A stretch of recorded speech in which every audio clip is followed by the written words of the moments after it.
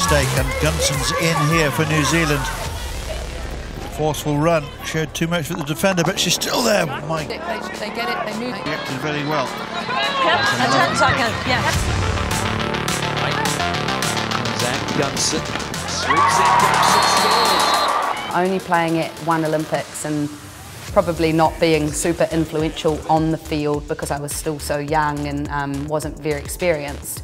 I was really keen to play another Olympics as a different player and just with more experience um, behind me and things like that because it would it'll be a totally different experience.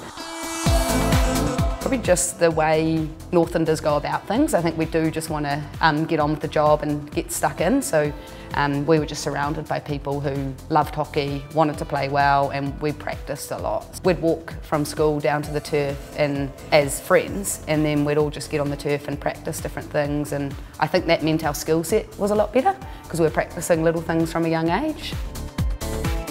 I'm just so um, relieved and excited to be in a job that I love and to finally have found what I do want to do. Um, yeah, I was lucky the police um, helped me out and New Zealand Hockey and my coaches and things were really open. It is full on at the moment but um, I am loving it and it's um, worth making it work. So the shifts I do align with hockey training, so I work six till two and then we train four till seven. It's a massive team and you do work with so many different people and different personalities, which is um, yeah, exactly the same as in a um, sports team.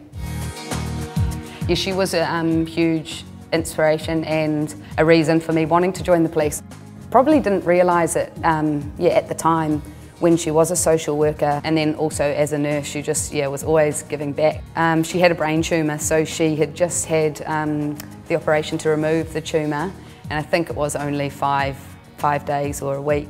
Um, later and I had my debut in Whangarei and yeah, there was no way she was going to miss that game. Uh, she was in a wheelchair and got snuck in the back gate so because she, she, didn't want to make a scene, um, as always, that was my mum. And so we lost Matt before um, my mum. He used to take me running and things along the road and he'd wear wrist weights and ankle weights and things and make me sprint power poles and everything.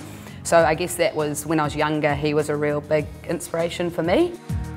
Often your mind goes to them and you think, oh, it's a shame they're not here because they would be so proud.